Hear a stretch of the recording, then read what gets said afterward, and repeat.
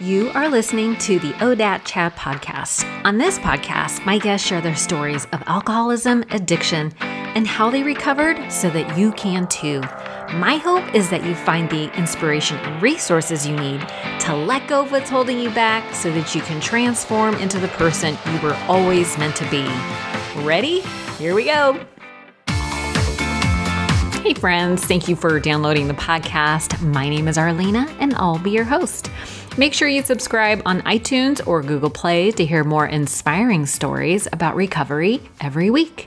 You can also get them delivered right to your email inbox. Just sign up for the newsletter at odatchat.com. So, I have two resources for you today. Number one, a workshop for women to solve what can be referred to as, quote, the big domino. It is the one big problem that, if solved, eliminates other problems or makes other problems that were previously keeping you stuck release so that you can move past them. Problems like toxic relationships, self sabotage, codependency, people pleasing, and certain types of compulsive behaviors. The problem is your subconscious limiting beliefs. And we start the transformation process in a six week live workshop called Reinvent. The next class starts in October, and you can register at selfesteemcourse.com. So, this next one is really important. It's National Online Recovery Day.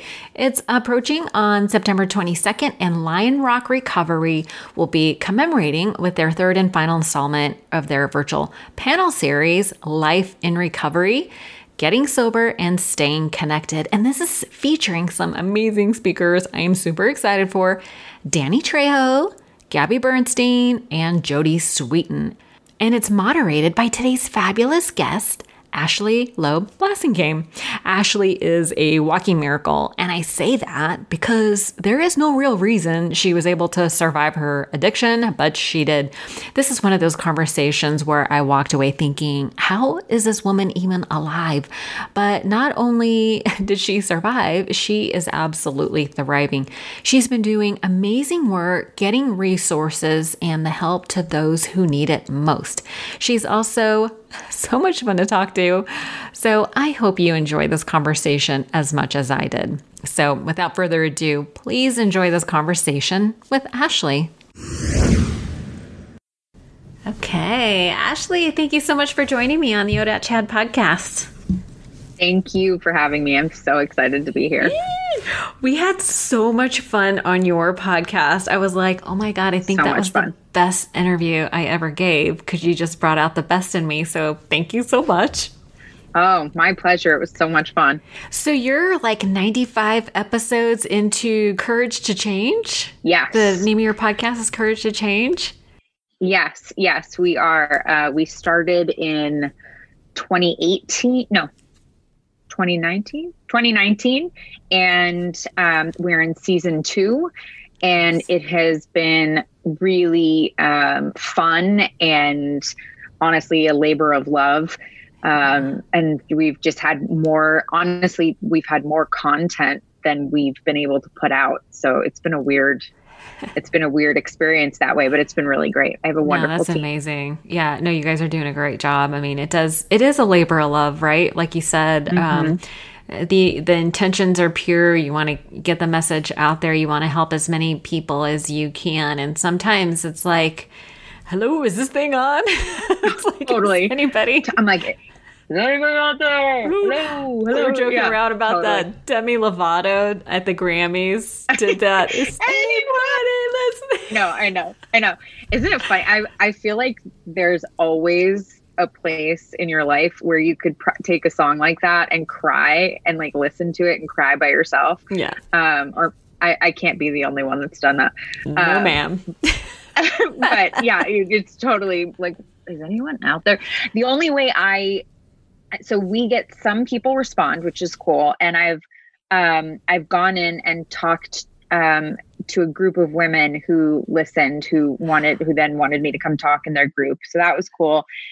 And then from our downloads, I mean, and like it shows where in the world they're downloading. They're downloading in places where like I don't want to know how my message is being translated there because there's like places in rural China Yeah, I don't know. So I I get the stats too, and the podcast is being downloaded in 53 countries, and I'm like all these tiny little places. I'm mm-hmm. like, I just imagine that there's probably some like American traveler who's just trying to stay sober and listening to to pod. I mean, that's that's what I imagine in my mind. I would be so surprised if there was like English speaking people in Uzbekistan who are trying to stay sober. Maybe. I mean, maybe. Yeah, it's probably expats, but yeah. Um, I don't know. It's it's just a wild experience. It's been really fun. It is really fun. And and at the end of the day, it's like you just do what's on your heart and you put it out there and then let people people will do with it what they want. Like once it's out mm-hmm. in the mm-hmm. wild,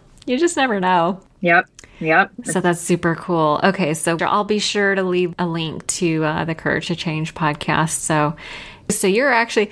Did I see the chief people officer of Lion Rock? Is that? I love that. Yes. Yes, chief. Yeah. Um, I have designed all of our hiring um, recruiting uh, processes. So, staffing the entire co- company from the beginning, which in the beginning was not a big job. Um, and now it is a big job, which is a, a, fun, weird experience in and of itself. But basically, I, I work I, I work on all of the recruiting, staffing, and then culture um, things, trying to create and maintain the culture of what we started and and making that a serious priority because um, the three co-founders we do not want to work at a company without that culture and so that's a big piece of what i do and think about that's very cool. Do you want to describe a little bit about your company and the culture that you're sure. working on?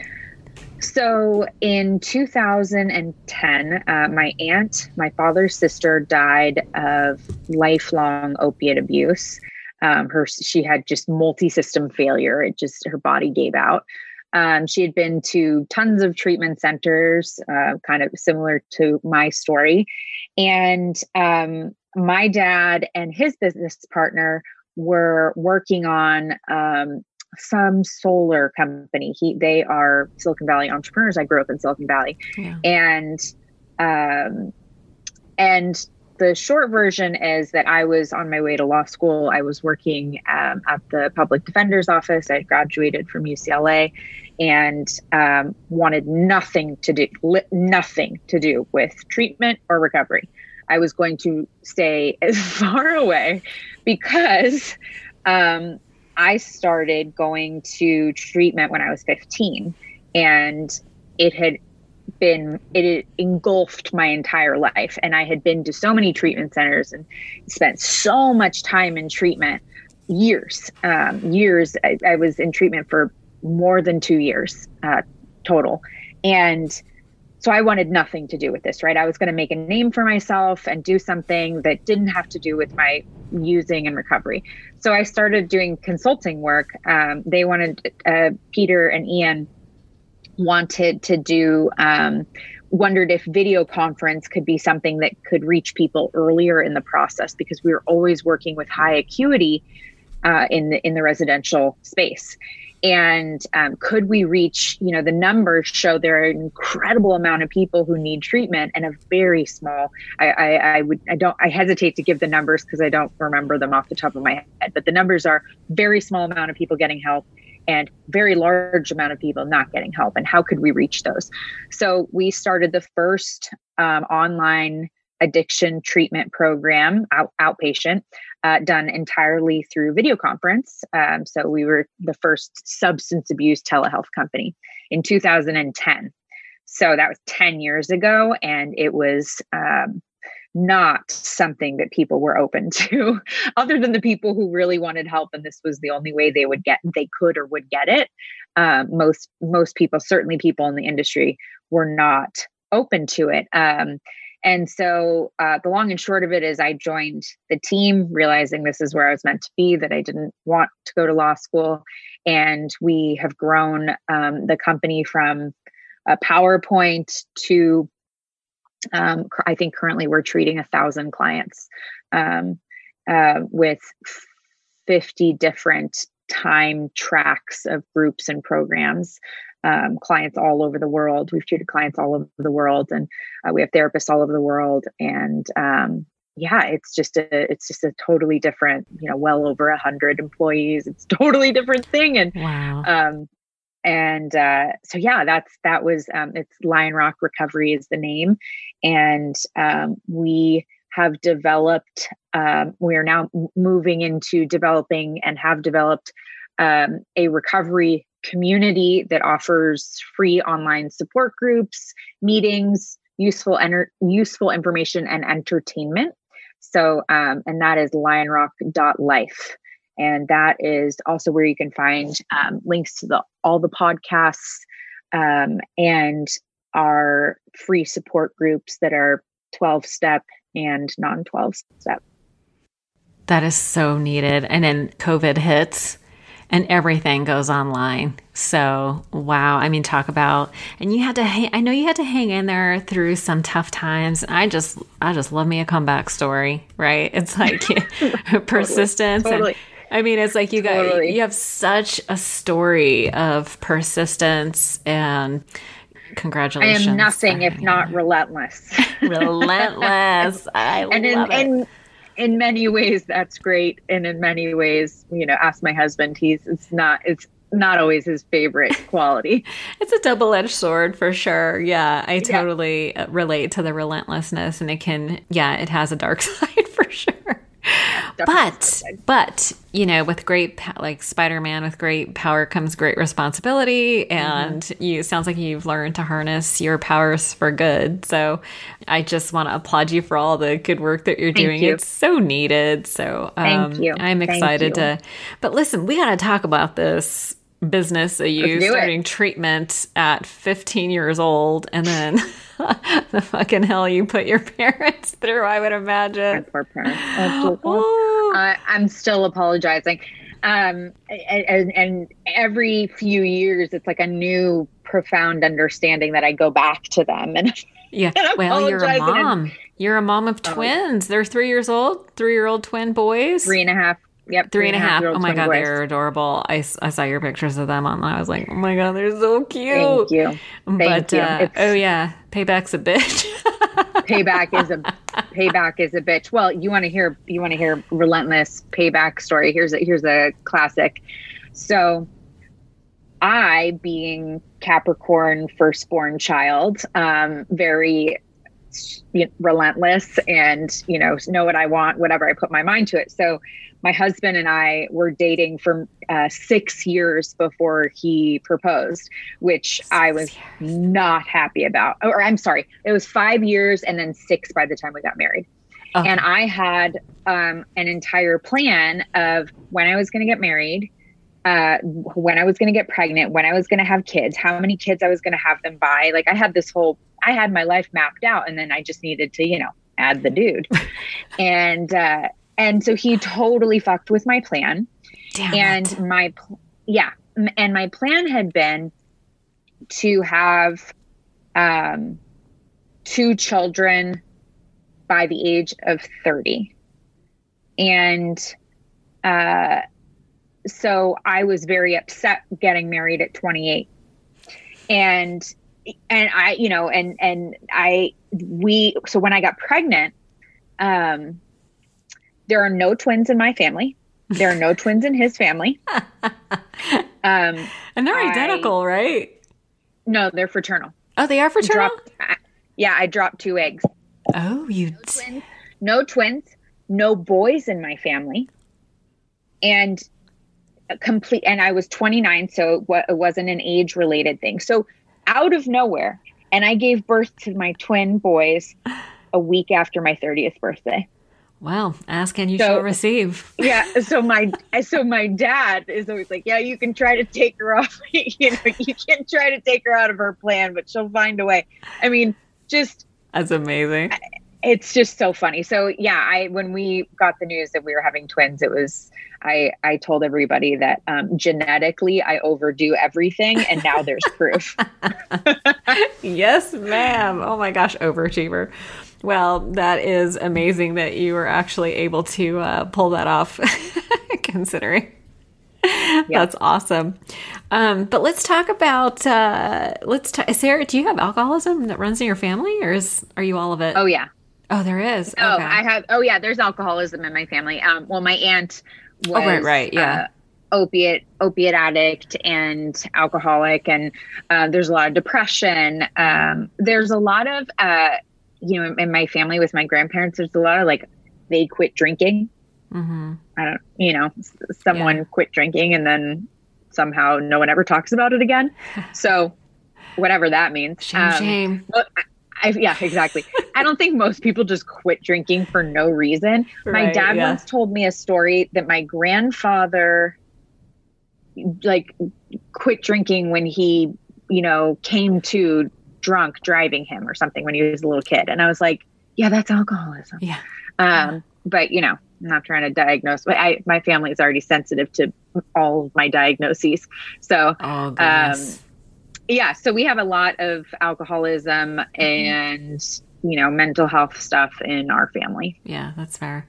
Um, you know what I thought we would do is maybe do you want to just share like your typical experience, strength, and hope kind of a thing, and then I'm, Sure. I'll pepper you with questions when you're done. Yeah.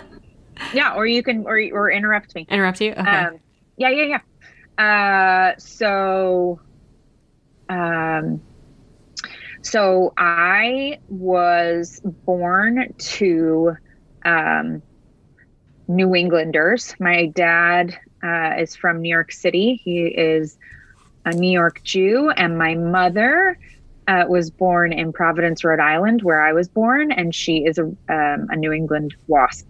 If you know the cultures, you know they're very different. Um, Meaning but- they're like, um, well, let, I'll let you describe the the wasp. I think I know what it means, but what does it mean to you? So, for example, um, the so the way that um, the the way that they show love is very very different. Um, it, the the you know the Jewish side of my family is very open and touchy, you know, hugs and kisses and emotive, whereas um, the wasp side of the family is very reserved. Um, not emotional, some amount of physical touch. So, um, there, you know, the Jewish side of my family, we, we talked about issues. There was a lot, you know, sometimes too much, and um, and then the other side, they don't talk about anything. Um, so they, Sweep my that shit under the rug type of stuff. each, yeah, under under the the Costco rug, um, it's Should gone. we should we define what WASP uh, stands for? White Anglo-Saxon Ang- Princess? Is it? White Anglo-Saxon Protestant. Oh, Protestant. I thought it was princess this whole time. Really? Yeah. Oh, that's amazing. Yeah. No. The girls, like when they said, "Oh, she's very waspy," I was like, "Oh, she's a princess." Okay, got No, it. it's it's Protestant. So it comes- Protestant, It's, sorry. It's, hmm It come. It's it's basically as white as you get. Um, it it is uh it, European Okay. um, Protestant and just uh, New England, which is very reserved. You know, my mom is five nine, blonde, blue eyes. Um, you know, it's just a, it's a she's a very she's a you know a, a stereotype. So the reason that's in, the reason that that's even relevant here is that I grew up in a household where things were expressed and talked about in very different ways. And so I related more to, you know, the Jewish cultural side of the family. And I didn't think my mom loved me when I was a little kid because love was expressed differently and I didn't understand the different cultures. And, you know, no one, that wasn't a thing. So I experienced these two things. And as a kid, I, there was no process for me. And then, um, you know, and then my dad being Jewish, we, um, so we moved to the Bay Area. We, we lived in Boston um, until I was six and a half or seven. And we moved to the Bay Area when, when I was seven and I went into first grade and I was met with anti-Semitism. I, I, I didn't know anything about Judaism. I was not, I was baptized Episcopalian. So my dad being Jewish was the thing now, and I didn't know anything about it. So these cultural things, these things that separate us or put separated uh, separated me, or um, were confusing, or things I didn't understand, they were a big part of my life because I didn't get the you know the underpinnings of what was going on because it was very different. So growing up in a house like that, uh, while it while they expressed a lot of love, it wasn't always in ways that I understood. There wasn't always that consistency. There was a, a very different ways of dealing with things, um, and for me, that not only was that hard, but I also exploited it, um, to, you know, to to my to my benefit. Uh, but the the the point in telling you that is that I always felt different, you know, and it's the classic alcoholic story is that I knew that I was different, that something was different about me. And when we moved from Boston to California, and I had this curly hair and I had a Boston accent, and I walked into a Catholic school, Sacred Heart School in Silicon Valley, where I ended up going to school for eight years. No one would sit next to me because I had this uh, this accent because I looked different, even though you know, I mean, I don't look that different, but to them I looked different. And I so there was always this like internal struggle and we lived in California and my parents are very New England. So it was always like I was becoming a Californian and my parents almost disapproved it because of but, but we lived in California. You know, there was a lot of, you know, undertones of things. Um I don't think uh, any of that, or or um, you know, I should say that I had sexual trauma at five um, from a neighbor um, I we lived on the Harvard Divinity School campus, and um, the pastor's son, if you can get any more stereotypical. Um, and for me, um, I don't think that made me an alcoholic, but I do think it made me confused, and I think that confusion um, led to a lot of other things. Um, I started, I had my first drink when we moved to California and I stole a beer and I drank it in uh, the closet of the apartment we were renting when I was seven years old. Um, it took me a week to finish the beer and um, we were waiting for our house to be ready. Um, but so we were living in this little apartment and I knew that you weren't supposed to do it. I, I couldn't tell you what the the motive other than that was. Like I just knew that you weren't supposed to. Um, and I would drink things like Robitussin or, you know, I always, you know, incredible amounts of sugar. I mean, sugar really was my first drug. And I always wanted to feel differently than I felt. I did not feel good in my skin. I felt like I was born with my skin too tight. And um, I think some of that is genetic, some of that was environmental, some of it was trauma.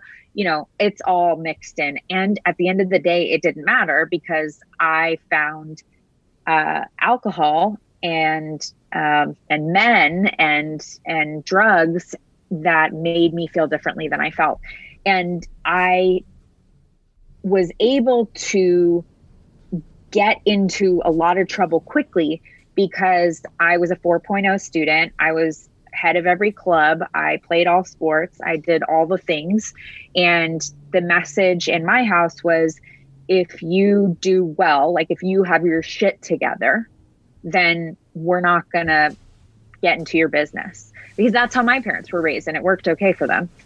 Um, and so, so I hid behind those things. Um, and, you know, experimented with um, weed, cocaine, uh, methamphetamine. I mean, the whole, I, there's very few drugs that I have not um, tried. Um, and I was the kid, I was very motivated to do drugs. I went out and sought them. It wasn't like, I always listened to the DARE campaign where they're like, just say no. I'm like, no one was begging me to do drugs. Like, where are these people who are just like these guys in cloaks coming out and giving you drugs. Where are they? I am looking for them. I cannot find any of them. It's just like absolutely never happened to me. Never ever. No one ever was like, please do this drug. I I I was so about it. I was so, so about that life. Um so you're like, where's all know, the free shit? I mean, it was. I found a bag of cocaine uh, a few years ago in New York City on the ground, and I was like, uh, a little late. I'm already sober. What is happening? Party where is was this? over. Yeah. yeah, where was this years ago? Yeah. So, um, so yeah, so I, um, I fell in love with cocaine and what cocaine did for me. And um, I had a really wealthy friend who was also addicted to cocaine, and mm. she we we started doing over an eight ball a day when we were 15, uh, 14, 15. Your parents didn't um, notice that you were behaving. No, my strangely? parents. My parents absolutely knew that things were going downhill, but I was not a kid. You couldn't punish me so unless you hit me, which my parents weren't about that, um, there was nothing you could do. So, for example, when I was, I think, 12, they tried to ground me. I said no. They said, and you know, I, I discovered this thing that kids don't know. And I want to say, I pray Shh, God, my kids never yeah, figured this out. Kids. Yeah.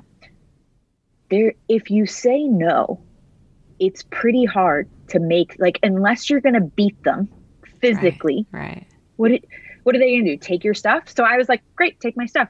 I'm still not going to stay in this room. Okay, are you going to physically hold me here? So they would take the door, and I would just leave. And I would come. I would, I would leave the house. And I I wow. researched and and found that you could not legally lock a child in or out of the house. So my parents. So I knew legally that that was, you know, what was allowed, and I just refused to be parented. Refused. Okay. Was unwilling. And and um, what that looked like, I would be in my bedroom when I was in high school, and my dad would come in and I'd light a cigarette and start smoking in the house. I like, I, I, I mean, I, I can't even begin to tell you like the level. I mean, it's horrifying now, but I just was unwilling to cooperate and be and be parented and what i what i fundamentally came to understand was the person who said no has all the power that i had all the power that they couldn't make me do anything and that the fact that i was doing that completely disrupted the whole system yeah. um, unfortunately i have two not unfortunately but unfortunately for everyone um, i have two younger sisters um, one who's two years younger and one who's five years younger than me and they um, you know they suffered as a result of my behavior and for that i am um, you know definitely uh, wish that i could change some of that. Um, but i just was angry and um, and then when i was 16 so uh, you know another example. So my boyfriend um, the guy who first put a needle in my arm when i was 15 um, he was 14 years older than me. Um, and I, uh, and it got to the point with my parents and who knew him. And it got to the point with my parents where they let him move in because they were so terrified that I wouldn't come home at night. And the only way that they knew that I would come home at night is if he was in the house. Wow. And Your so parents must have been terrified. Yeah. I mean, yeah. So they were so afraid that I was going to die every single night. And they didn't even know I was shooting heroin yet. Um, that they, because I would just leave if, if there was an altercation, like I would just leave. And um, I created a network of resources outside of my family. And that allowed me to just leave. Um, I'm taking a, I'm, I'm in business school uh, right now, and I'm taking a negotiation class. And um, you know, I, like this was stuff, you know, your best alternative to a negotiated agreement, you know, you're bad, like you walk away. And I fundamentally understood that if you have nothing they can take from you, if you don't comply, there's nothing they can do. Right. And while that was effective in terms of letting me do these crazy things, it it destroyed the relationship and it made it so that I spiraled down so fast, right? So I got sober when I was 19, and even that is late in the game because I was, you know, in treatment for two years. So, um, you know, to wrap wrap up this piece, which is, um, you know, I started shooting heroin and everything that comes along with that. And I was living with my boyfriend in East Palo Alto. Um, he had an apartment there, and um, we had just robbed a computer store and um, we were doing all sorts of you know drug related things and uh, we got in a fight he left the house and um, i had a broken foot that i had been living with for three months that i hadn't taken to the doctor. So i'm limping around. My drug dealer asked me if i was okay like was concerned about my well-being which was what point where i sort of had this look with him like so you're not really concerned about my well-being let's be honest. Um, but so this broken foot w- wasn't you know wasn't treating that whatever so was in this house. And um, the police come in they uh, i'm the only one there and they arrest me and um, and a, ser- a long uh, road of the legal system proceed i became a ward of the state of california at 16 and um, and my parents uh, illegally uh, took had me taken by force to a wilderness program where I arrived with my hair falling out at 16, with my hair falling out, um, completely strung out with a broken foot, and turned out I was pregnant.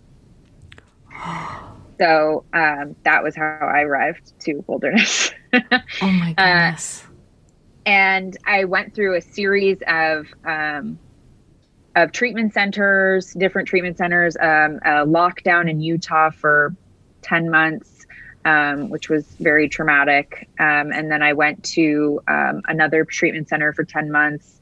Um, so I ended up going to about eight different programs. Um, and I got out of programs by the time I was 18 and then tried the great experiment of I can drink or I can drink, but I'm not going to do drugs. I'm a drug addict, but I'm not an alcoholic. And um, that landed me. So that worked for a few months, not really. And um, I ended up, I was living in Prescott, Arizona, and I ended up in Phoenix. I drove my car down to Phoenix and um, went into a trailer park and started knocking on all the doors and asking for heroin if anyone had heroin because I didn't know where to find it and I found a trailer that had it, and they all had rusty, dirty rigs, and there was no place for me to go to get clean ones. So I rinsed them out with Clorox from under the trailer, you know, in bathroom.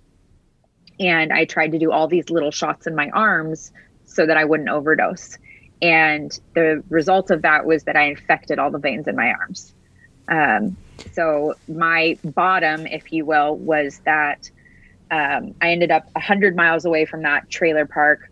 Don't know where my car was with two guys who had who had my drugs. My arms were stuck out in front of me and I could not move them because they were it was in I was in so much pain and I was begging for these people to give me drugs because I had been rendered incapable of actually using. And this was in my pursuit of I can drink but not do drugs. And um, my mom came and visited me in the hospital, which I ended up in the hospital, and she asked me if I was going to make her bury me. And uh, and I got sober at 19. My my sobriety date is January 7th, 2006, and um, it's been a crazy, wild journey. Uh, getting sober at 19 and being sober, going to college sober, getting married sober, having children sober.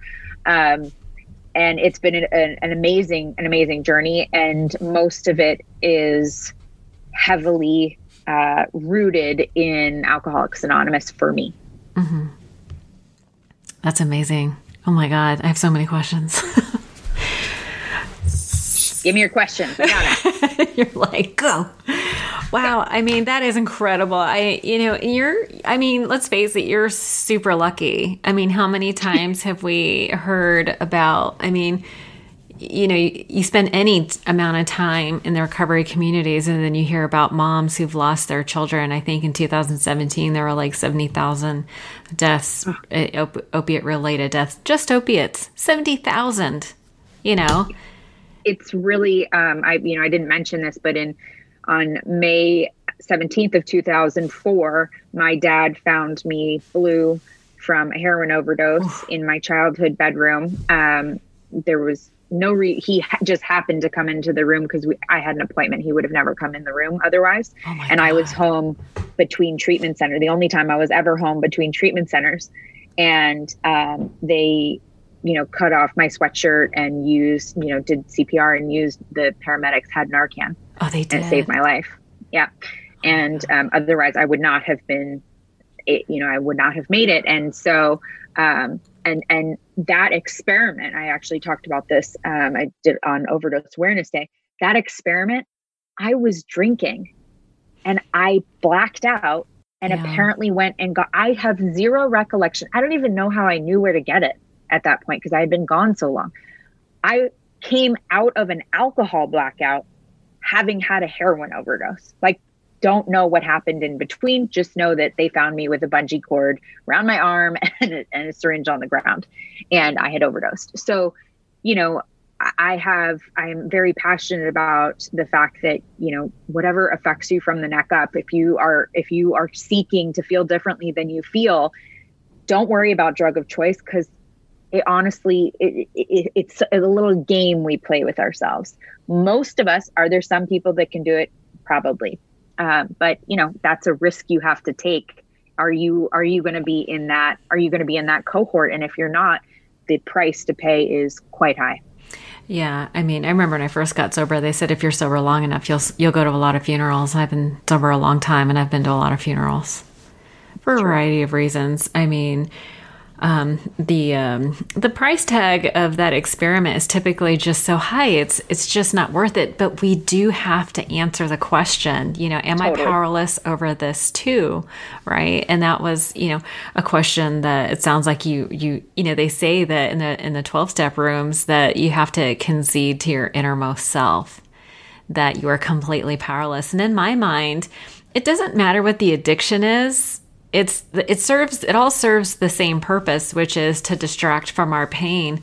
And if we go back to you know five years old um, i remember we were talking before about uh, you know that situation with the the pastor's son and all the things that happened to you during that you know having to recant didn't you say you had to recant the story? Like you told and then you had to recant yeah. and- yeah. So i um I came so that this happened in Boston, and then I didn't tell anyone.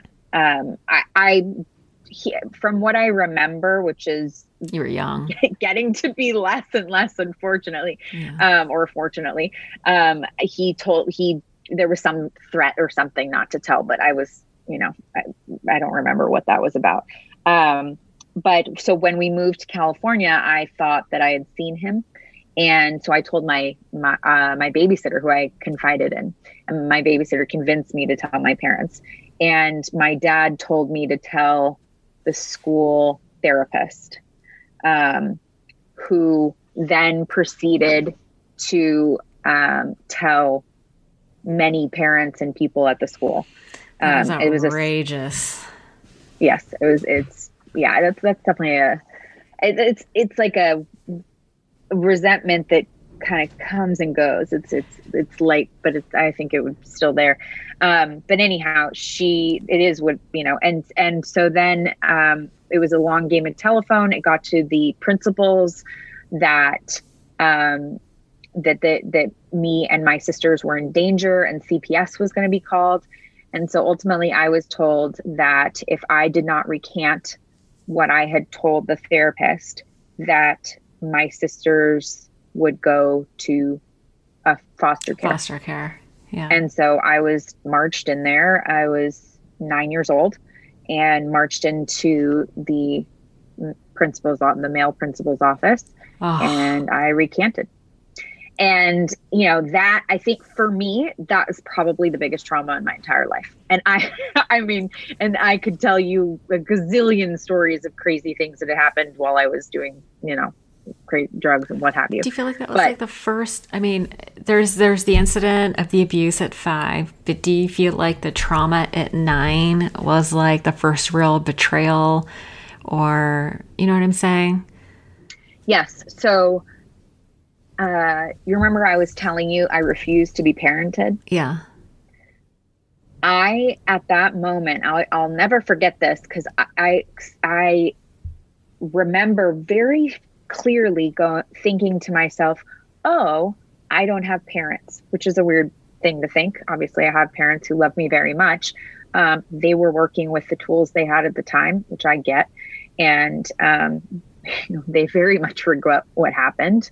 Um, they were trying to make incredibly difficult decisions with very little time and new knowledge to them and and no experience with this. Right. And um, yeah then it didn't go well. And uh, so for me it ended my feeling of um, was it trust or? trust or or authority. Like it just ended their authority for me. They it it it made it like i was they were roommates who love it, it, like the relationship the Right. foundation of the relationship changed for me i Right. i i really understood somewhere that i was on my own and that changed who i was in Yes. terms of how i interacted with my parents and so the crazy stuff at home like the absolute outrageous unwilling like who is this kid that's a kid who was not afraid of anything her parents could or could not do or give her anything. And i knew that if i had nothing if i didn't care about anything that they took that they had there was nothing to do. There's no way to parent me. There's no way to stop me. And a lot of that came from you know this rage about Rage. being yeah about being yeah. yeah about being betrayed. And i had a lot of rage. I had one of the um i was in a family week and oh it was just like my heart. Um and we were doing some family work and amends and um i one of my one of my amends and my you know how i was going to make up that amends was i promised to never lay a hand on any of my family members ever again. And I remember thinking to myself at, I think I was 17 um, at that time, like, that's the type of thing you say in kindergarten. Like, that's not the type of thing that, you know, like, I'll never lay another hand on you. But that, I was so, I was filled with so much rage. And rage is heavy. It's, it's, I remember when it lifted. It lifted, um, it lifted early, uh, you know, between 18 and 19 and it Hmm. lifted. And I remember that because the rage was tight and it made me um, def- like physically defensive and aggressive. And um, I remember that act- that feeling going away. And it's funny, I it, it would I can't I don't know what it would take for that feeling to come back. It hasn't in so long, but the fact that it was such a physical manifestation for me. Um, and and having to work through that, and I, I did ultimately do the work to work through that. what was it that uh what what press what what, what preceded the uh, rage lifting? Like how did you get rid of it? Like how did it lift? God, I wish I remembered. I think I think really what what I can say during that time what happened was that I took responsibility and I I really looked at the fact because in my case, and this is just my story, it was easy to see that my parents love me to death and that they their desire was not not to hurt me. They had no they had no there was no value for them in that. There, there was no they did they Yeah. didn't get anything out of that. And so I was able to really see that they fucked up. They fucked up. they're just human They're just human. And and I was able to put myself in their shoes um, as much as I could at the time. And I was no, able.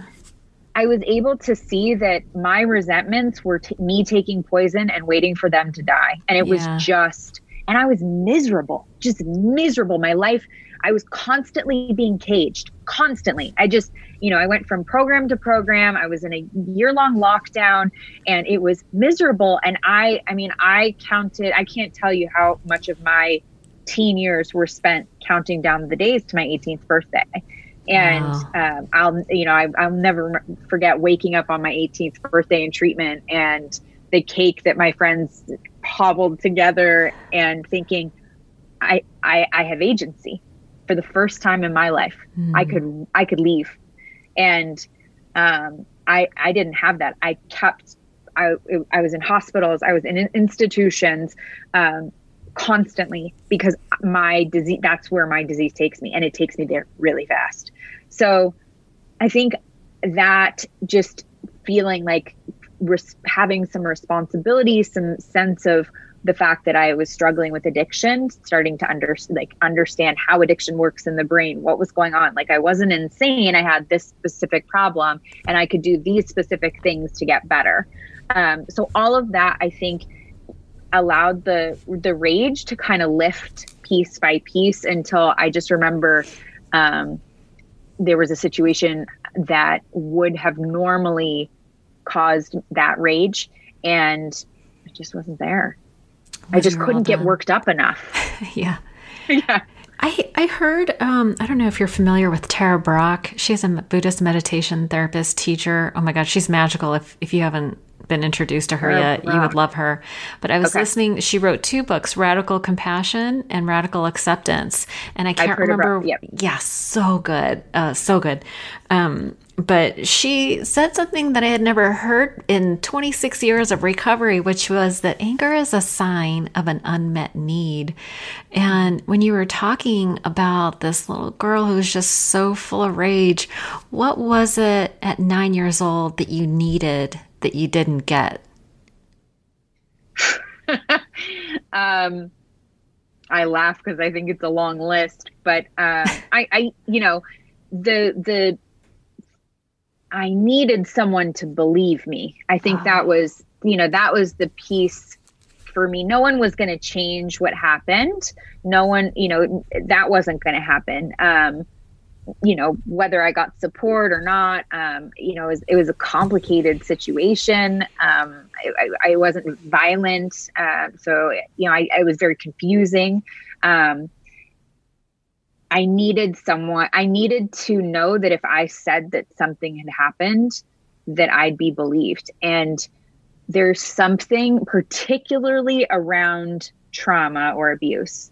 There is something about not being believed about what you know about you come out and you say this thing that you haven't been telling anyone that it's you know not convenient for anyone that you don't want to talk about you know that you're starting to under you know that's the other thing when you're abused at five you don't understand what the hell's going on. Yeah. As i got older the pieces started coming together right?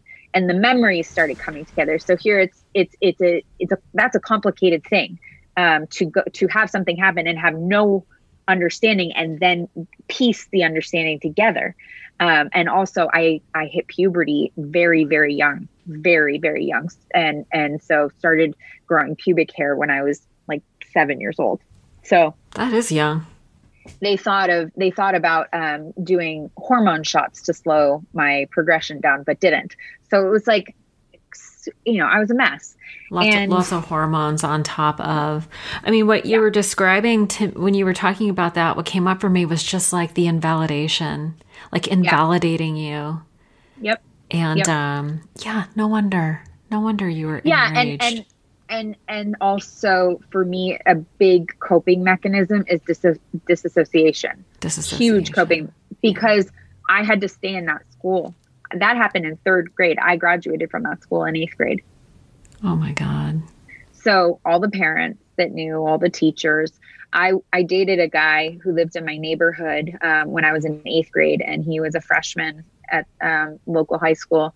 And th- his mother uh, was best friends with a first grade teacher at my at my school, and she told the mother of the guy I was dating that I had been abused as a kid, and sh- the mother made him break up with me because of it.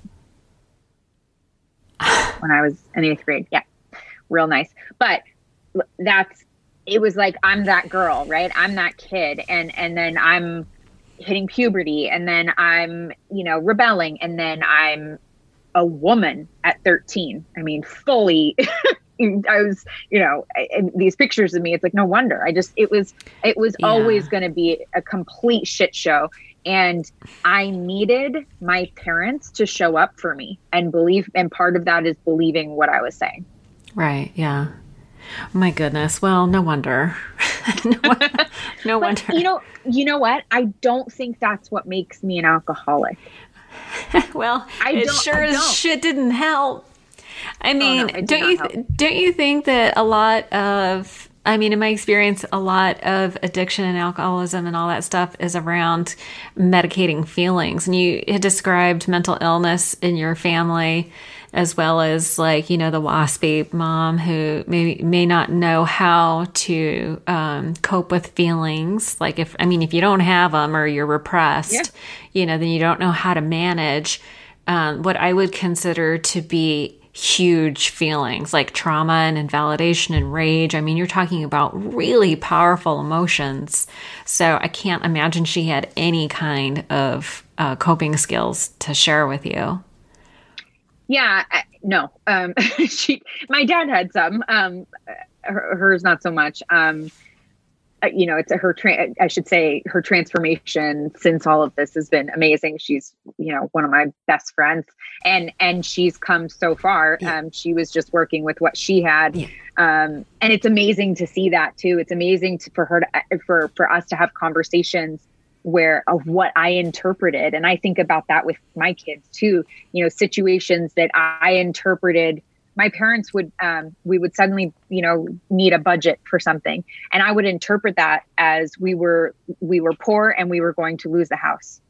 And so conversations where there was like mm-hmm. conversation about a budget or something and, and, and sticking to a budget to me that I, that's what I interpreted. So I think a lot about how you know I have two younger sisters. They interpreted things differently, yeah. and I I think part of how I interpret things is part of my alcoholism uh, yeah. right yeah. and it, it's kind of like you know i don't know it's chicken and egg but i i you know from day one i was you know i i I overdo everything and I'm too much for everyone, right? Like I'm just I'm too much for the people at school. I'm too much, I'm too much, I'm too much. Like it's just I have my personality, my being, my belief, I'm just too intense. And um there was a lot, you know, my drugs of choice, um, you know, my ultimate drugs of choice, you know, alcohol um and heroin, like that made me a small person, a quiet person. It put me to sleep. I was not um, I did a lot of math, but I don't actually like it, which gives you an idea of I get it. addiction. Um, I'm like, why am I doing this? I hate this stuff. Um, but uh, but you know, I was not interested in being up all the time and being awake and being aware and engaging like that. I wanted nothing to do with that. I wanted to be nodding off and asleep. Yeah. I wanted to be be small. Um, Pink Floyd's "Comfortably Numb" that was like my anthem. I, I yeah, just didn't want to totally. be, you know what I mean? Yeah, yeah. I just didn't want to feel any of it. So I totally get it.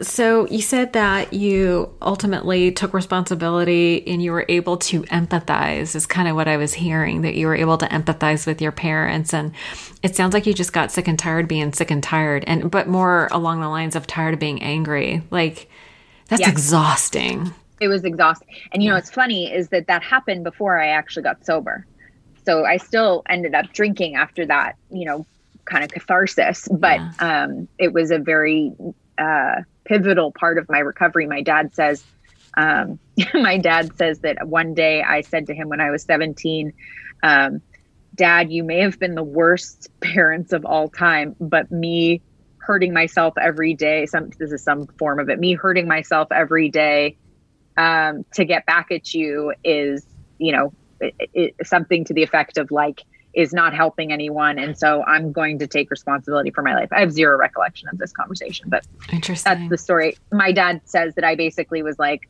you know this is ridiculous. Like what am i doing?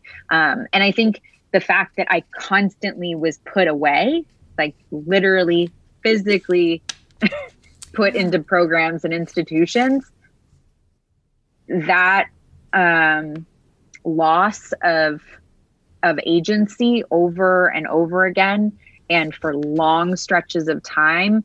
Um, on the one hand i'm really lucky that my family was able to provide you know you know to pay for treatment and that i was able to have um, the opportunity to do some of that work. And and you know on the other side of that coin was um, you know just a lot of um, a, a, a, a, big holding pattern for me, you know, just holding me somewhere so that I wouldn't hurt myself. Right. Yeah. Um, but that wasn't a huge, that a lot of that wasn't growth in a good way.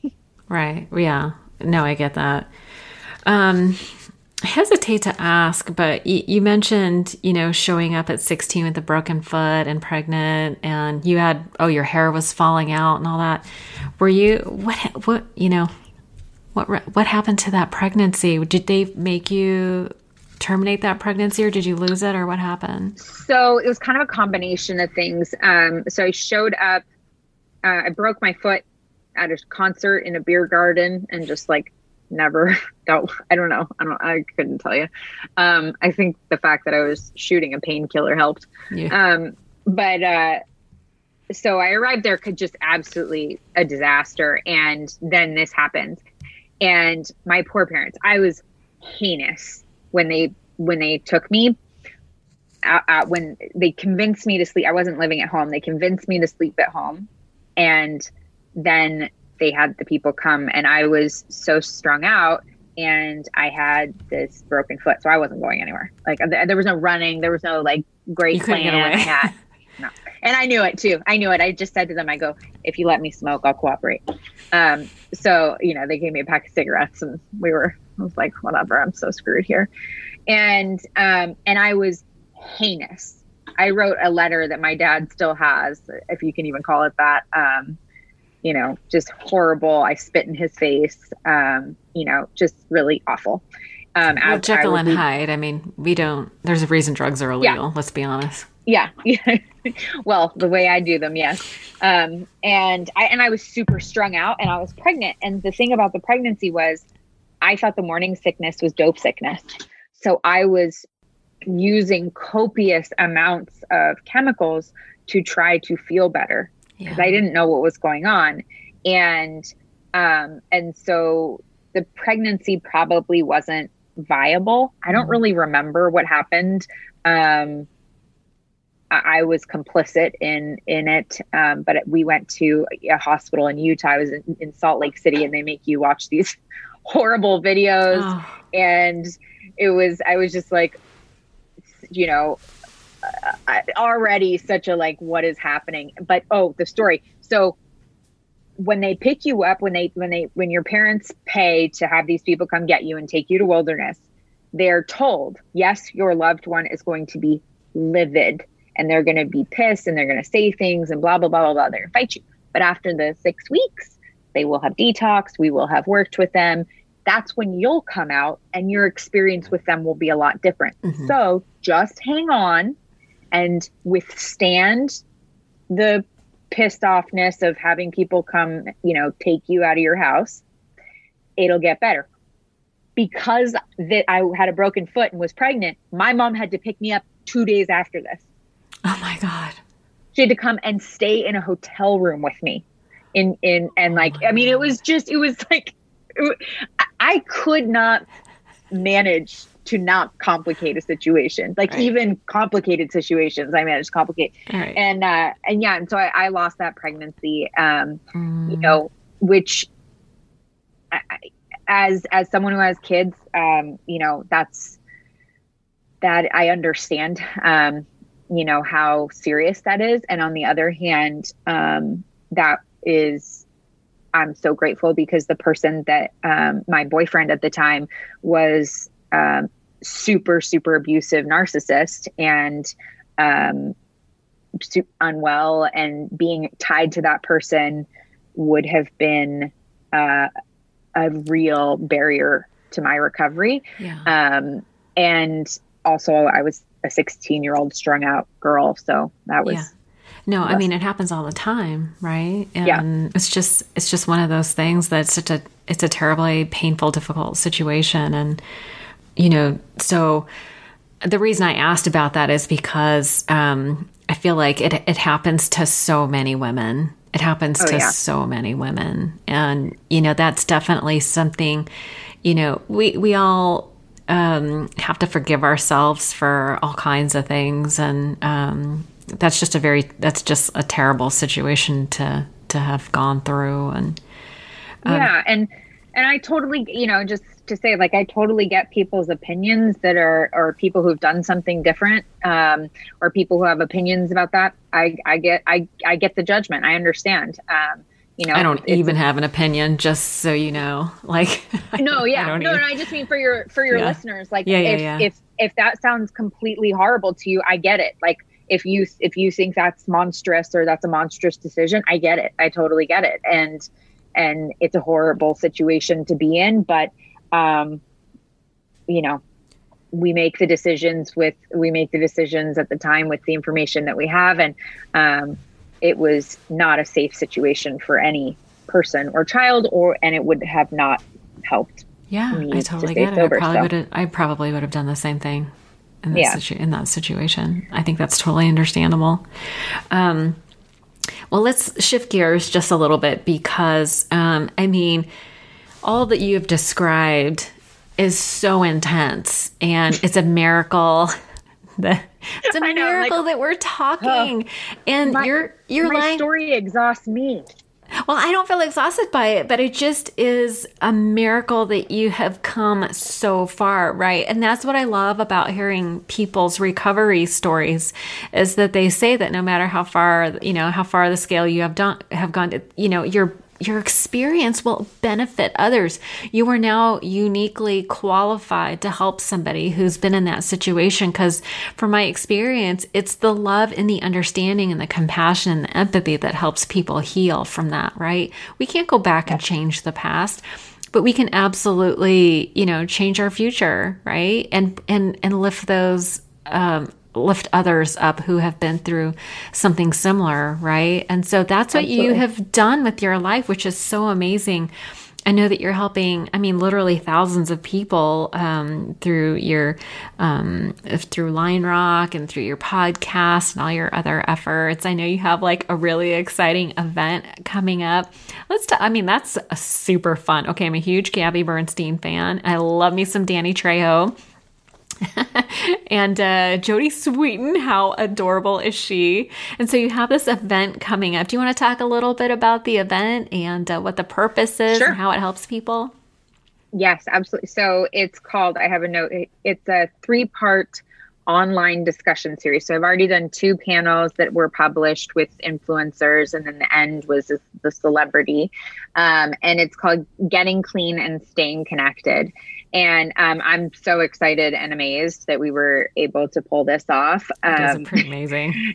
It's I I didn't I didn't know what it was going to look like, but um, this was I did not expect it to to have these awesome people. Um, I'm so I'm a huge Gabby Bernstein fan, um, so I'm going to try not to fangirl all over her. Yeah. Um, so because that's not a cute look. Um, I know you're trying to you're so, trying to be cool and maintain. Yeah, I'm like I'm gonna be cool.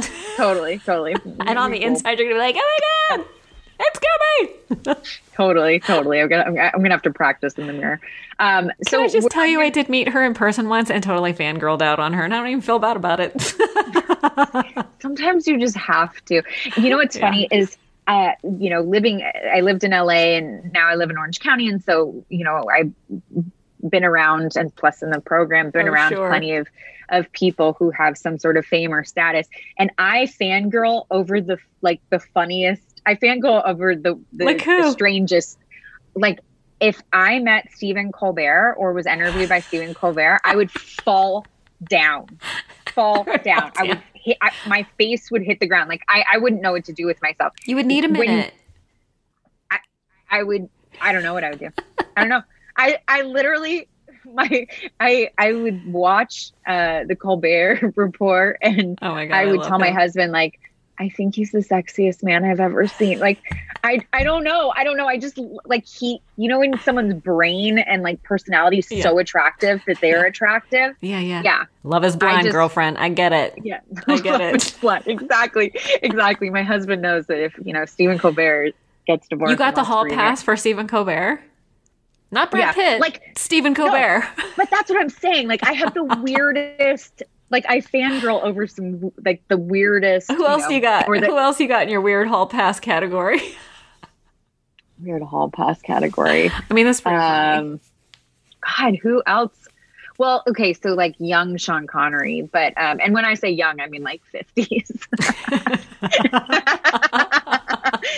Um, That's hilarious. But uh, I, I I have a thing for for the older guys. Um, yeah, I don't know. I, I haven't That's thought about it in a while, funny. but the only one I thought about was Stephen Colbert forever. Stephen it's just like I love you so much. He's amazing. I love yeah. him. Well, you'll have to. Uh, hopefully, you'll run into him. Okay, so but in LA and everything, you've run into some people, but so yeah like i'll run into you know i've met people um you know who have real fame and I, i'm very impressed by their talent and whatever but i don't get that like ah! you don't Um, lose your shit.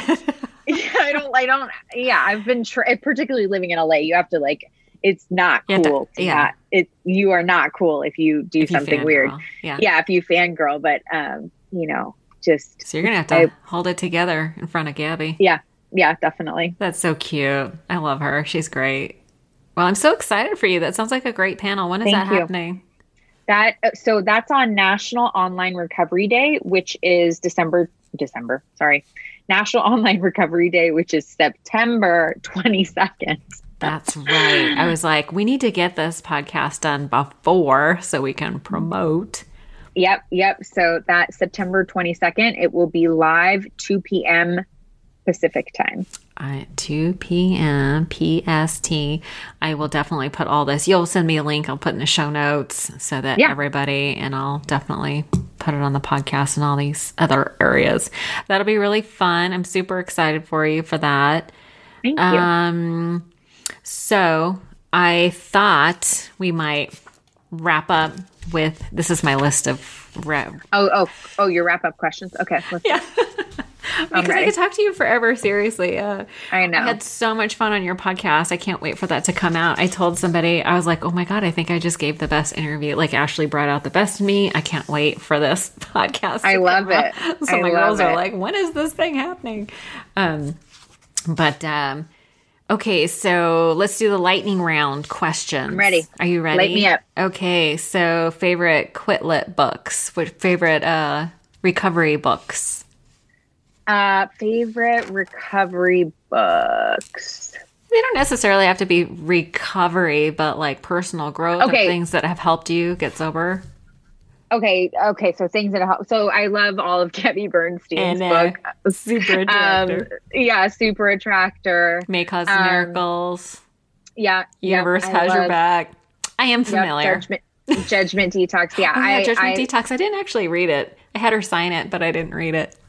So I'm kind of, I'm, I'm actually kind of like a neuroscience nerd. Me too. uh, Oh, okay. So um, I the there's a couple books. The Body Keeps the Score. yes. Um, it's a really fantastic book. Comes with a workshop, a, a workshop, a workbook. Uh-huh. Um, uh, there was a really um, Patrick Carnes wrote a book, Out of the Shadows, about sex addiction that was um, really helpful uh, for me in my early 20s in recovery. Um, and uh, you did Melody- mention in the very beginning, we, and I forgot to ask you about that. You did mention that men were one of the things that I think you and you and I had so many things in common, using men to Yeah. fill the void, shall we say, of, of missing feelings. Yeah. I meant, you know, yeah, the feelings, right? and here exactly. in your in your heart. Yes, Yes, that's what I um, meant.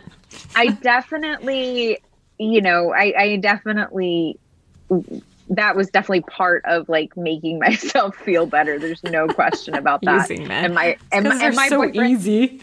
and my my boyfriends and the, the guys that I dated were usually 15 to 20 years older than me. My husband is the youngest guy I've ever dated. He's four years older than I am. I am familiar.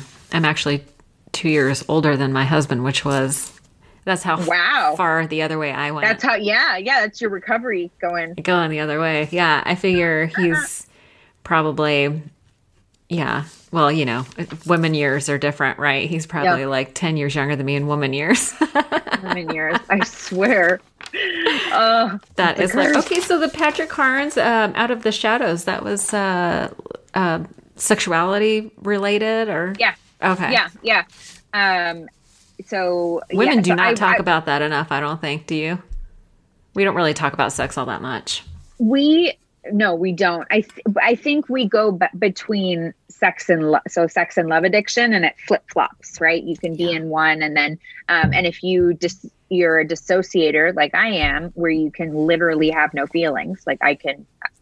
Um, sometimes when I do feelings work, I have to ask myself if I were having a feeling, what would it be? Because I have to think the feeling, oh, and then, then try.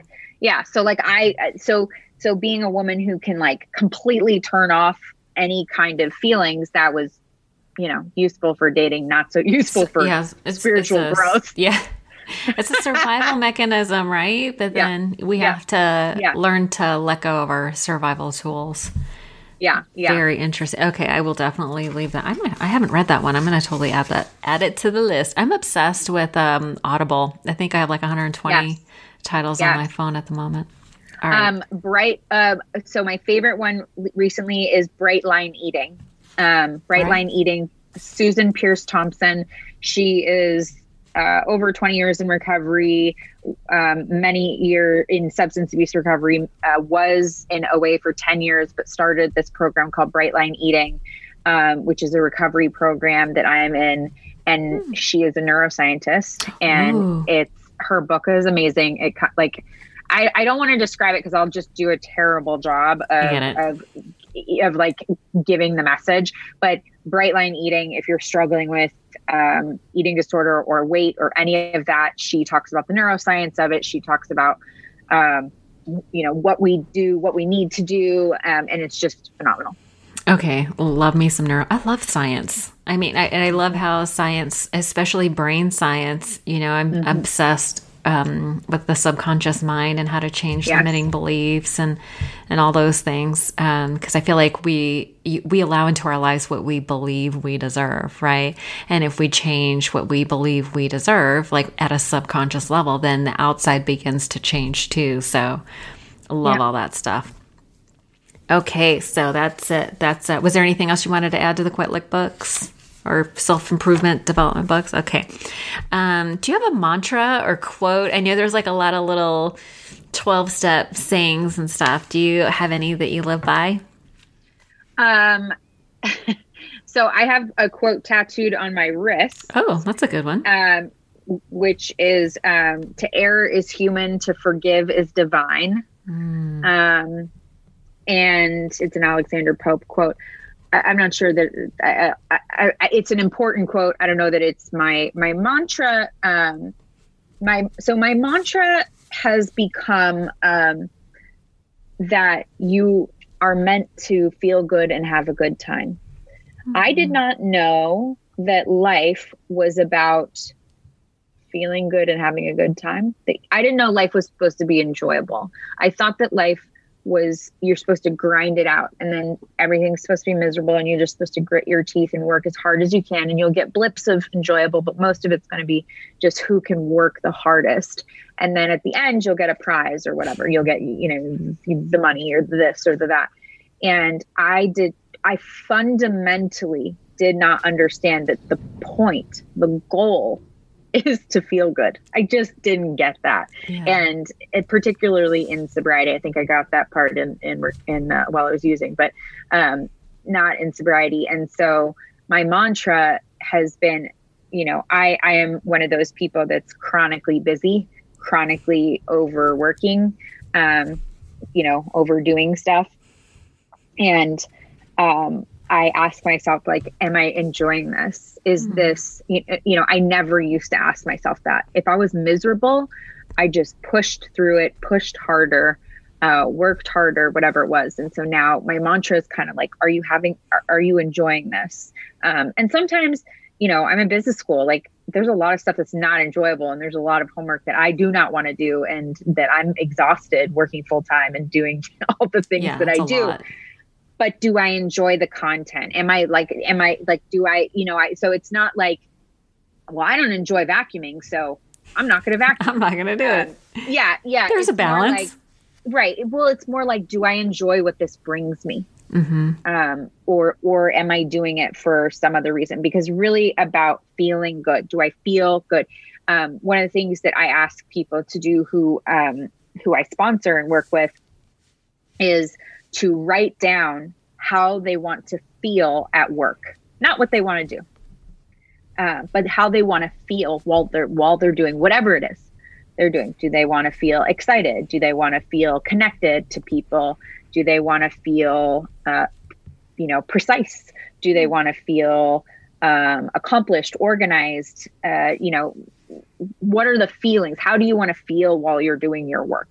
And back into that because I just didn't understand for so long, which feels crazy to me now, um, that life was supposed to be enjoyable. Well, you know, it's funny because we, you know, we do drugs because we, you know, on the outside, it looks like you do drugs so that you can have fun. Right? right. And that's how we enjoy life. But that's not the case. It's not, it's not really, especially in addiction, it's just a lot of work. Right. It's and so much work. And being it's... high is, you know, and then you don't remember it. So I mean, did you and really have fun? A, Who knows? And and and with you know one thing that with you asked one of your guests, what do you wish you knew? What do you wish you had known? Um, I did not know that with heroin, once you're addicted, you get sick and you get well. You don't get high. You get well. Oh, I didn't. Yeah, I didn't know that. That's, um, that makes yeah. sense. Yeah. So, so you, after after you become addicted, you're just not. You're just taking drugs so that you're not sick right. Dope sick. So now now it's a dope now now it's just a, a an endless pursuit um, of sh- pursuit of stopping yourself from getting this horrendous you know we've all seen movies you know depictions and let me tell you it, it it's brutal. Um and so you're just running. You're just running from running this from feeling. Yeah but oh i had God, no idea. Ashley. i had no idea it was like i mean cocaine wasn't like that. No it wasn't. Yeah. Cocaine stopped working but it wasn't you know so i mean you get a little um, nosebleed it's okay. You know it stopped doing what i needed yeah. it to do but but it didn't it wasn't it wasn't running away from from serious serious like and and like you still got something from it. And you know, um, that just goes to that the description of that is nothing even remotely fun. Right, right. Nothing fun about it. Well, since you brought it up, um, do you? What is one thing you wish you would have known when you first got sober? Uh, I wrote this down. I think you did your thing, homework. Good for you. I know. I know. oh, okay. I, I, wrote it. I know. Sorry. Um, I love it. Uh, that the goal in life is to feel good and have fun. Got it. Yeah, it's so funny because I think uh, you know a lot of people when they first get sober, they're like, "Oh my god, I'm gonna have to stop drinking and doing drugs or smoking. I'll, I'll never have fun again. Never have fun again." And that is couldn't couldn't be further from the truth. I have so much fun in recovery. I bet you do too. You're you seem like a fun well, girl. okay, okay. So my 20s were killer. My yeah. 20s were killer. So fun. Uh, I have overbooked myself in my 30s yeah. um, with the twins and the work and the podcast and school. But um, I will come out of this. Yes. But my 20s, I mean, I jumped out of planes. I went to raves. I, you know, sober. I, but yeah, so I was sober bungee raves. jumped. I swam. No, not sober raves. I mean, I was sober, but not. Right, right, right. You were uh, sober, but they weren't. Yeah.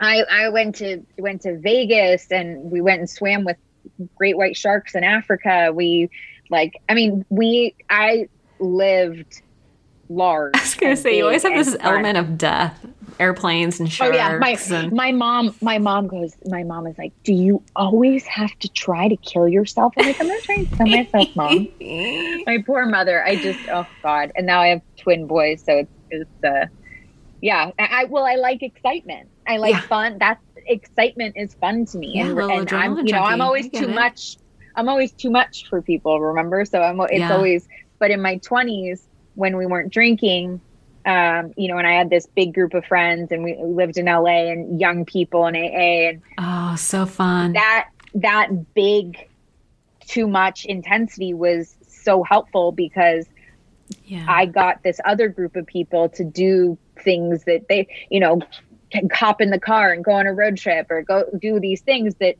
you know maybe they wouldn't have done but because because we were sober and because we had to find new ways to enjoy our life right yeah. that became an asset because i was adventurous. But yeah so 20s were super fun. And when people that talk talk about like not having fun in sobriety or you know i'll never have fun again. I have a gazillion stories of just absolutely having a blast. And you, parenthood kind of changes the yeah. game yeah, yeah, that'll throw a wrench in your game. Those little cock yeah. yeah, yeah, exactly. exactly. I get it. Oh, I love that. Um, and then because my podcast is one day at a time, ODAT, um, I always like to end with, uh, do you have like a regular self care routine like that you do like one day? Is it like a, like for me, it's like a one day at a time thing and I have like a, a daily routine, but do you have a daily self care routine or weekly self care routine that helps you to stay sober? Yeah, so I'm usually woken up um, like being shot out of a cannon um, by one of my kids.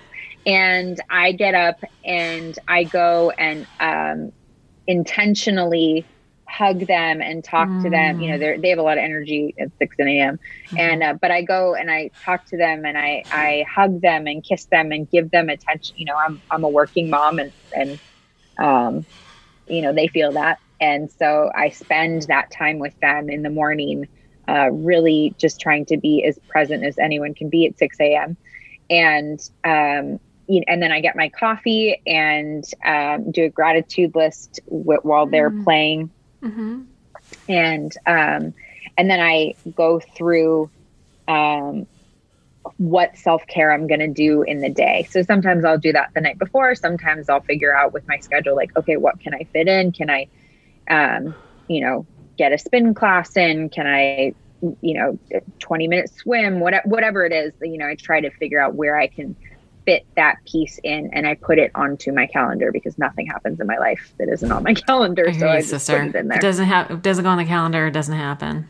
Yep. Yep. Yeah. What so, about meetings? Do you have like a number of meetings that you like to go to? Or are you still doing, are you doing online meetings? Are you doing it? Like, where does that fit in?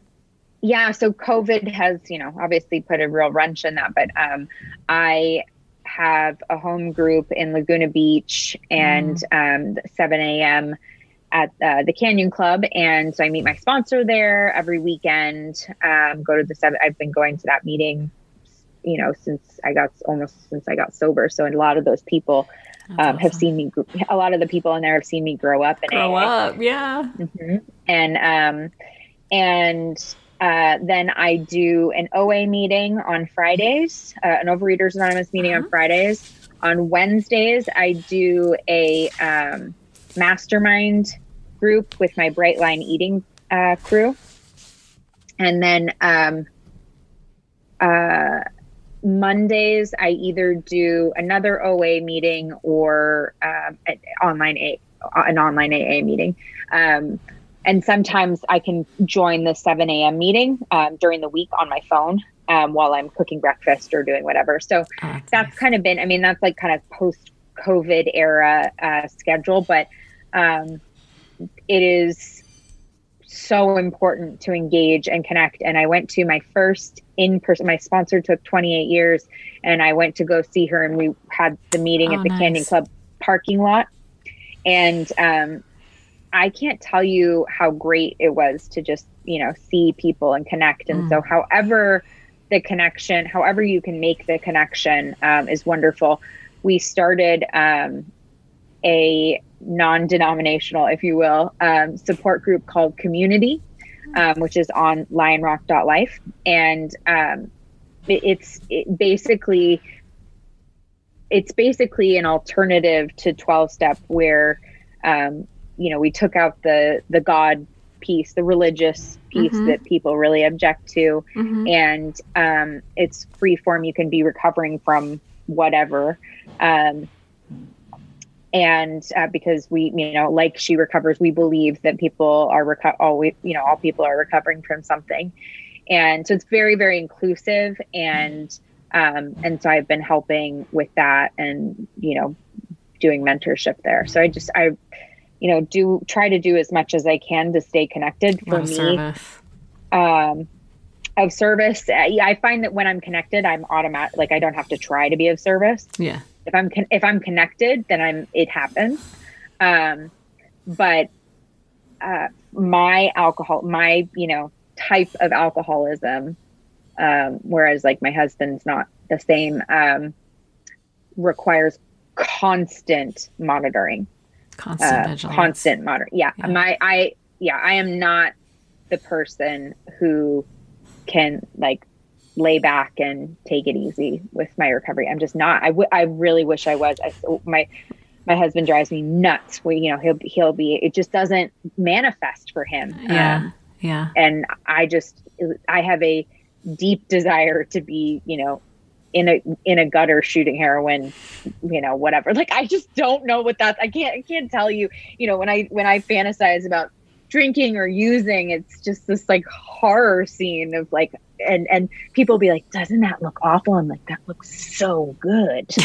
Like are you kidding me? You know? They're looking at this totally different i know right? yeah. you, you know i'm like a gallon of vodka alone in a room with no lights and you know are you kidding? That's amazing. Yeah. and it's just this like totally so my brand of alcoholism if you will just requires constant because it comes out you know with with food is a the reason that i go to more food meetings is because that's where my alcoholism shows up more today. Yeah. That's that's the topic i have to be talking about and vigilant because i have alcoholic foods in my life where right.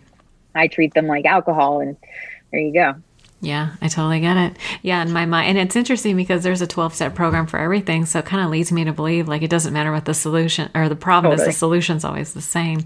But it, there is so much benefit in being around people who get your kind of crazy, like your flavor totally. of crazy, right? There is so much I benefit. need, I need people. Yeah, because otherwise I'm too much. I'm yeah. too much.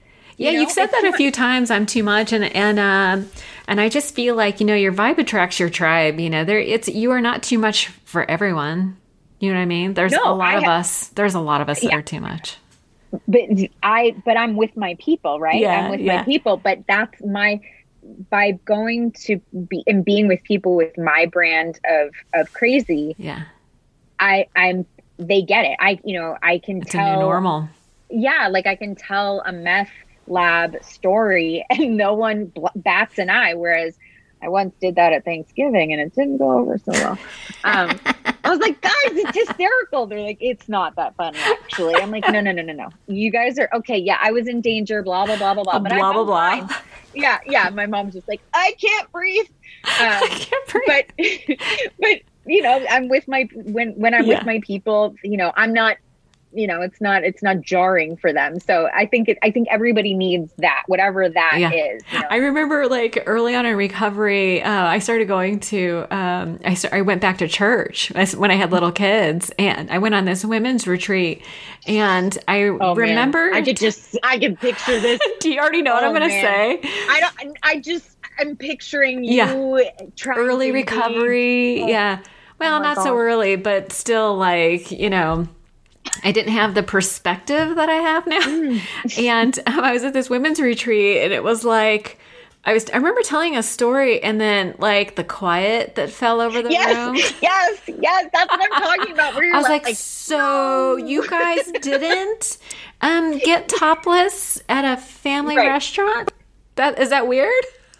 and and it's You've always for me what's what's amazing is like it's always the stories that we think are mild we're we're telling we're telling the mild like you topless at the restaurant at a family restaurant that's mild yeah. right? Like you right. you think you you think you're fitting in with the church crowd. Yeah. Meanwhile you completely missed the mark. And they're it's all just yeah. You did. Right so funny. You're, the you're other thing that, yourself like I know. The other thing that I think is hilarious is how people in recovery suddenly become such prudes because oh, yeah. I, I tell this story all the time. Um, about how that if it was in a bottle, a bag, or blue jeans, I was doing it. Yeah. And I think yeah. I'm I think I'm super funny, right? And this girl yeah. pulls me aside after a meeting one time. She goes, "Oh my god, I was so embarrassed for you." And I was like, "Bitch, please, when did you become a virgin? Did you like your did your hymen grow back since you got sober?" It's like, what happened to you? Um, I, yeah, I mean, stop it. I don't know. I don't know what drives a person to to feel the need to tell you that, but um, talk about waspy. She doesn't, yeah, right. She doesn't sound like our brand of alcohol. No, no, no. she's not. She's not. I, I, I, uh, I'll leave you with this. Um, when I was in early sobriety, I had the brilliant idea to sell my eggs. Mm-hmm. Oh, fun! And um, do you have um, other children walking the planet right now? no, it gets better. So I filled out I filled out this application. Yeah, you know, I have a lot of ideas. Um, I filled out this application and they ask you all these questions about like your lifestyle and your history your physical, you know, whatever. So they like how many sexual partners you've had, if you've ever used drugs.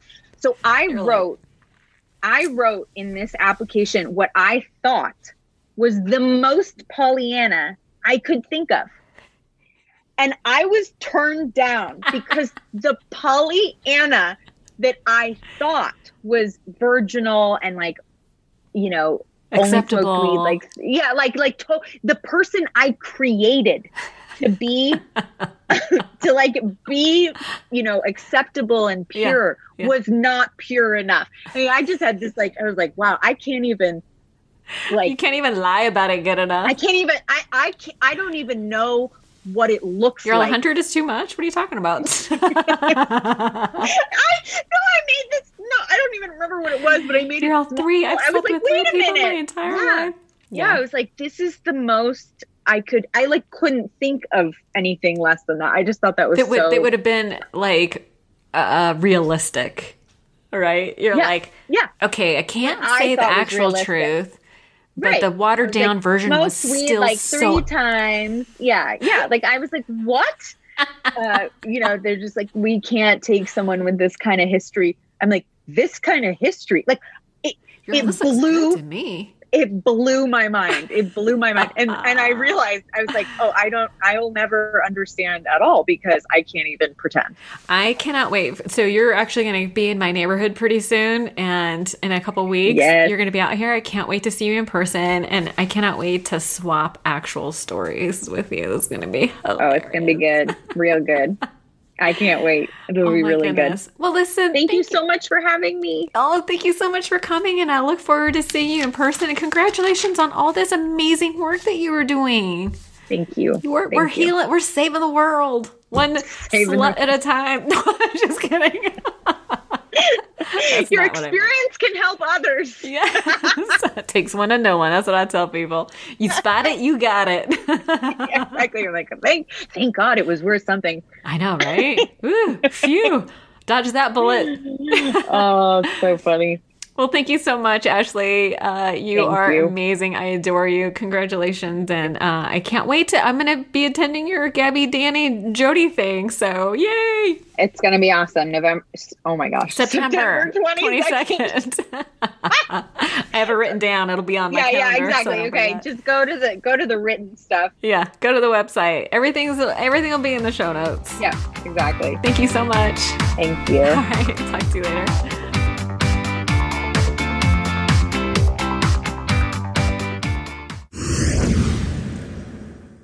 One last thing before you go. If you enjoyed the podcast today, please don't forget to subscribe on iTunes or Stitcher and leave a review. And if you'd like to make a donation to the podcast and help me keep the lights on, you can do so by visiting odatchat.com. There's a donation button or membership button on the right hand side. Have a great day. Thank you so much for joining us.